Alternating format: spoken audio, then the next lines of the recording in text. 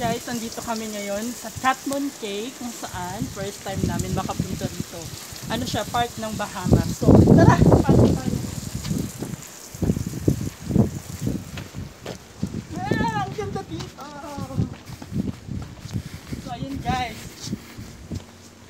So, ganito palang pakiramdam na na kayo lang nalilito dito na walang kasama.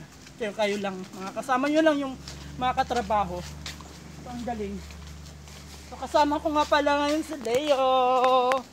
Shout out. So, ito na guys. Malayo, malayo pa ba tayo? So, we're so excited. Come